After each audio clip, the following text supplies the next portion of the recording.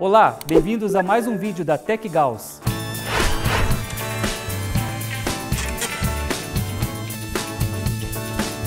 Iremos apresentar neste vídeo os modelos de bobinas de ignição e sua evolução.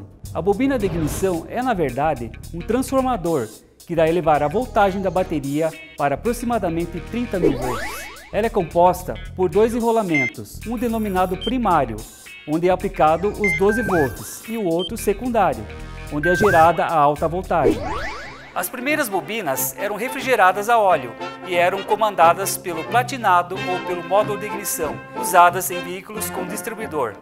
As bobinas de centelha dupla ou perdida surgiram juntamente com a extinção do distribuidor. Elas levam esse apelido devido ao fato de liberarem duas centelhas simultaneamente, mas somente uma é utilizada pois a outra centelha se dará simultaneamente no cilindro em que está o ciclo de descarga. Nesta família existem bobinas com módulo de ignição ou circuito de potência interno e as sem circuito eletrônico.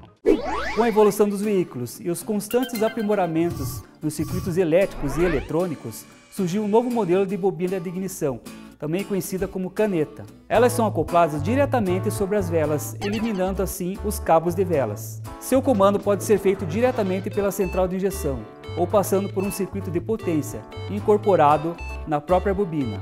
Uma variação dessas bobinas são as do tipo barra ou múltiplas, onde as mesmas estão em uma mesma base, podendo funcionar independentemente para três ou quatro cilindros, ou em pares, como as de faísca perdida, para quatro cilindros. Não deixe de acompanhar o próximo vídeo da Tech Gauss, onde teremos a continuação sobre o tema bobinas de ignição. Obrigado pela atenção e até lá!